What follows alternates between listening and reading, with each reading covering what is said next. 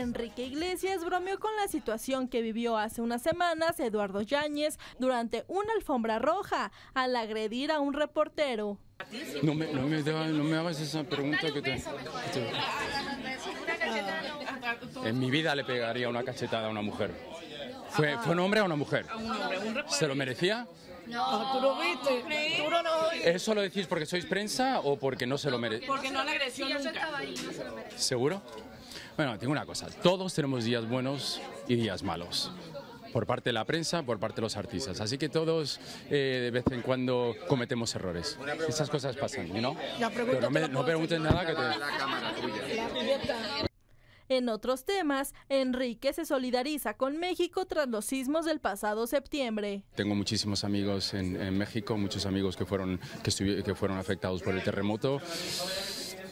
Eh, poco a poco se va a reconstruir, Fuerza México y que nada, mucho ánimo. y expresó cómo vivió el paso del huracán Irma en Miami.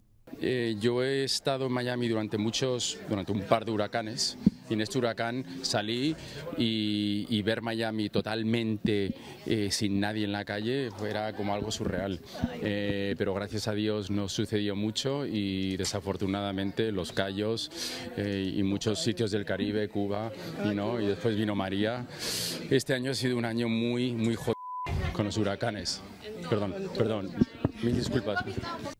Enrique se presentó en el Forum Inglewood de Los Ángeles como parte de su gira Live World Tour, misma que comparte con Pitbull y adelantó que Becky G será parte de algunas presentaciones. Sí, Becky G va a estar con nosotros en los conciertos de Miami. Todavía nos queda Miami, Houston, eh, Corpus Christi, eh, Corpus Christi, Laredo, Austin. Sobre el escenario, el español volvió a dar de qué hablar al subir a una fanática y besarla, y luego al subirse a la parte superior del estadio sin seguridad alguna para abrazar a otras seguidoras. ¿Quieren estar al tanto de todas las exclusivas del medio del espectáculo? Busca tener la información de los famosos de primera mano. Pues suscríbase a nuestro canal de YouTube. Solo tienes que darle clic aquí.